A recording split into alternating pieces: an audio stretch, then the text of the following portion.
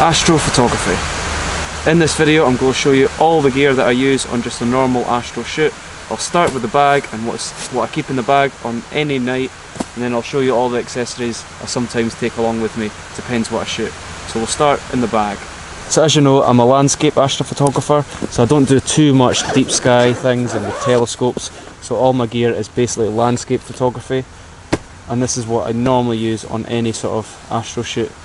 So Sony a7S, always use it, mirrorless, I've had it for a good four years. I'm currently recording this on another a7S, so I've got two of these. So I've got the a7S on a L bracket, and this allows me to go from landscape to portrait very quickly with uh, ball head tripods.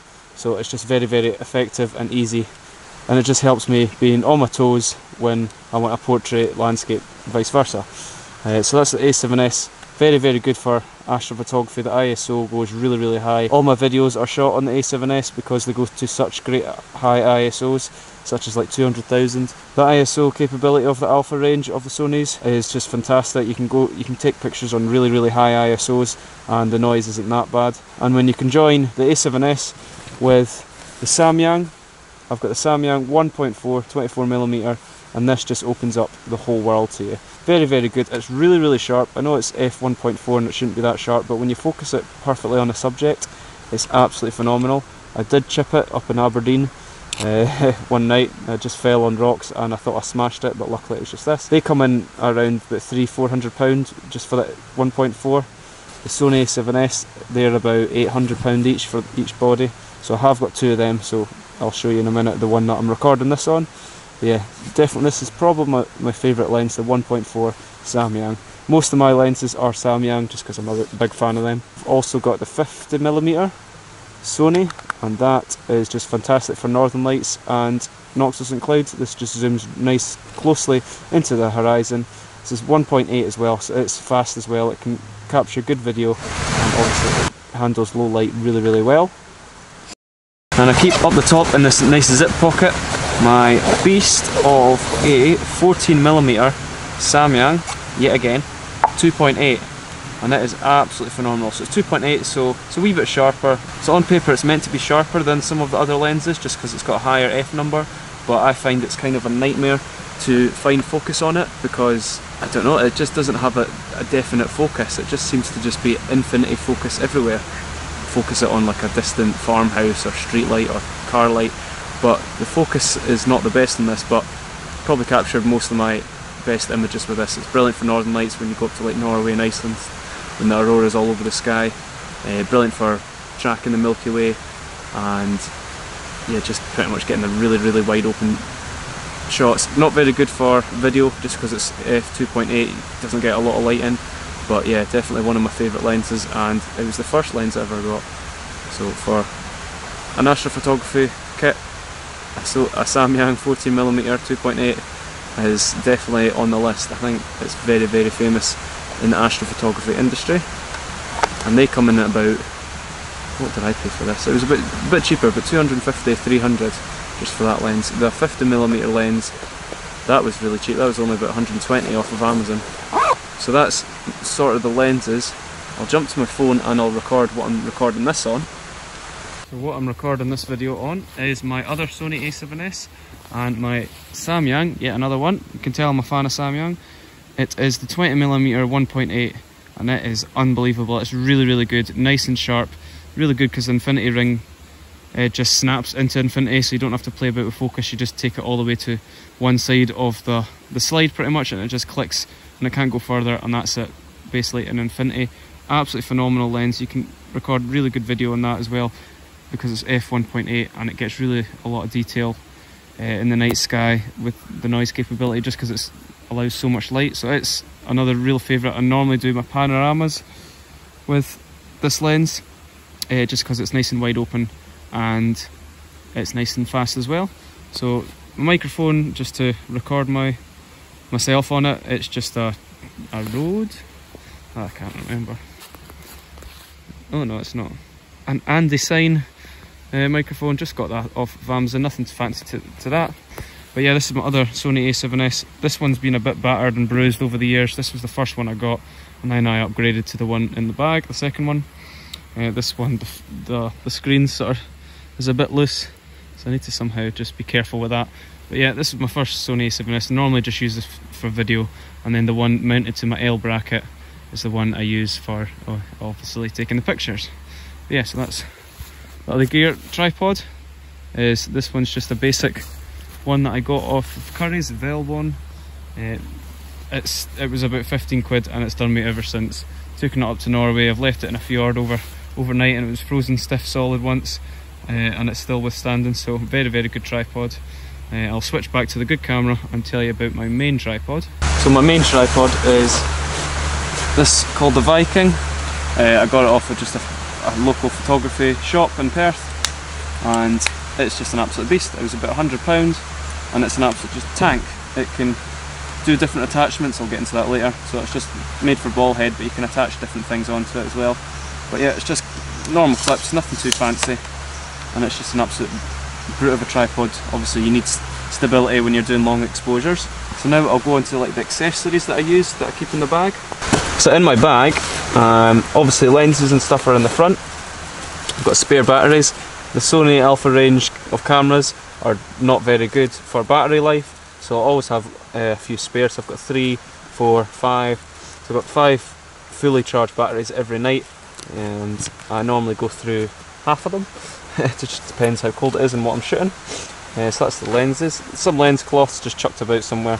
They keep getting, they keep changing their, their area. Head torch, what I use. Obviously it's dark when I'm photographing, so it's just a, you know, it's got some at the side and then a main beam in the front. Uh, it's just like a trespass one, just from a local shop.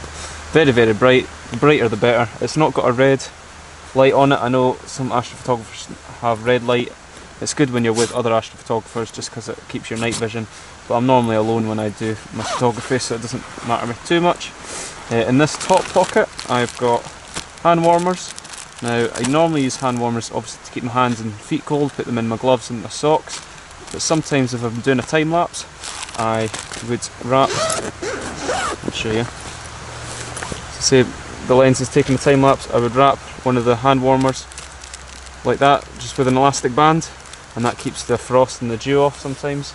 That works really well. Not not very cost effective because you know they're not renewable, but uh, very good. So if your hands and feet are cold when you're out at night, it makes you last much longer and enjoy the night much more. Spare batteries for my intervalometer that I'll show you, and the elastic bands to attach things and uh, keep it handy. So in this pocket is where I keep most of my goodies, my accessories. So here is the intervalometer, so I've obviously got spare batteries for that. Matches the Sony, so it just plugs into the Sony's. This is how I do the time lapses and long exposures. Uh, the Alan Wallace Star Glow filter, this just makes the constellations pop and glow, such as Orion and the Plough. So you know, you, I just hover this over the lens and that makes the stars pop and glow highly recommend getting something like this. I know uh, other manufacturers like NISI, NISI, whatever you pronounce them, they do a similar thing. And definitely get them because it just makes your images, your astro images pop so much more. So yet again, more lens cloths just to um, make sure my lenses are nice and clean when I photograph. This is one of the adapters I use to connect my Sigma 150 to 600, so I'll get into that later. That just connects uh, I've normally got chargers, so if I'm out for a while or I'm out travelling or something, uh, I always keep like a battery charger. This just connects into any sort of USB socket. I normally have a, a phone charger with me, you know, one of those brick phone chargers. So I can just click that into a phone charger, put batteries in there, and it charges on the go in the field. So it's very handy, especially sh shooting with Sony. Um, and then I've got SD cards, which I keep in this nice wee case. I realised that the more SD cards you've got the better just because I shoot a lot of videos and time lapses and obviously pictures and personal stuff as well so the more SD cards you need the better because they just fill up so fast and for processing wise you want to keep them all separate and stuff. Uh, so just I normally just go for 32 gigabytes so I'll pop them back in the bag. The bag as well, it's a Lowepro it's one of these bags that I've never had any problems with. I bought this, I don't know how good, well before like before COVID, a good five, six years ago, and it still just acts brand new. And I've never had any issues with it.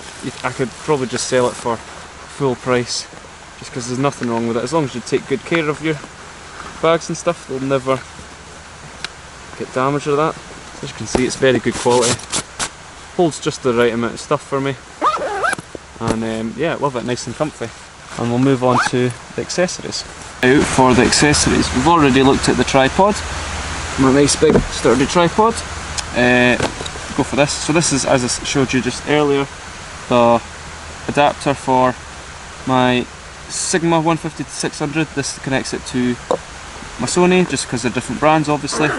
Uh, this is the big boy, so it's pretty much just, I use it just for moon photography. The moon bazooka in the astrophotography world. So that just connects to that and then obviously that connects to my A7S. That was only about 20, 15, 20 quid off of Amazon which is really good.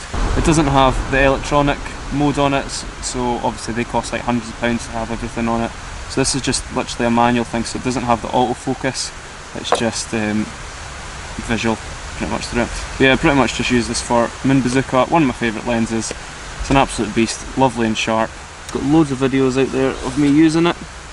This lens is quite expensive, it was about 850 so I had to save up a while for it and uh, purchase it but it's definitely worth the investment. Now the Ioptron, the Sky Tracker. So this is the Sky Tracker, this pretty much tracks the Milky Way and what you do with this is, if you don't know, have the tripod set up as normal and with the threads pop it on the top of the tripod and you make this tube here point north to Polaris and that's the centre point in the Earth's rotation. And then this area here kind of revolves around it. So if you point at anything in the night sky and this is aligned up to Polaris this whole motor will just follow that rotation. So it's good for really really long exposures such as like you know anything over 30 seconds. So when I shoot a Milky Way it's normally about two and a half minutes, two minutes 15, sometimes longer. So you really need these to get that good detail in the Milky Way. So that's the Ioptron, the Sky Tracker. This last thing is probably one of my favourite things and my most recent purchases is my 360 mount. And I use this 360 for obviously 360s. So what you do is pretty much get the tripod, pop that on that just like that, and then we've got a thing called a nodal rail. That slides on that, you can attach your camera to there and it just makes panoramas so much easier to do and they're just so much simpler. So this knob here makes this go around the tripod much easier and this makes it go up and down much easier. So it's so much easier to kind of film and photograph the night sky doing panoramas. Also use it for taking pictures of the moon just because you know the camera's so heavy and uh, I don't like putting huge big strains on ball heads so I pop heavy gear on this just because it's so much more sturdy and just helps me get really good kind of precision when I'm moving at such a high focal length. So for the 360 it works really well because it allows me easily to kind of angle my camera up, take a row of 360 degrees and then point the camera down and do a row of 360 degrees. Plane going overhead and also taking a picture going straight up and straight down which you wouldn't be able to do just on a normal ball head. So it's really really good. And the 360 images are absolutely phenomenal. You can see them on my website and stuff like that. Um, but yeah that was about 170 off of Amazon I remember that. That's for that and that. So expensive but definitely worth it and you definitely need it to get the cool results and that's about it for my equipment. So it's kind of handy kind of compact. Obviously saving if there's no moon I'm not taking that. And it's just these sort of stuff. So chucking it in the car when you think of it it's not too much uh, equipment. Astrophotographers tend to take a lot of equipment and I fully understand it. Uh, but I just like to keep it nice and light so I can fit everything in there. So yeah that's my equipment that I use. I'm sure I'll probably add to it eventually. The next lens I'll probably get for my equipment is the Samyang F 2.0 135 millimeter. Uh, that looks really good for um, you know capturing the deep sky objects. Uh, but I'm very very happy with my setup, and I would never go away from Sony. Sony is just the best for low light photography and Samyang is just unreal for uh, budget and quality. It's nice to see other photographers' gear because it's just very interesting and yeah that's pretty much it. Thank you for watching. Cheers.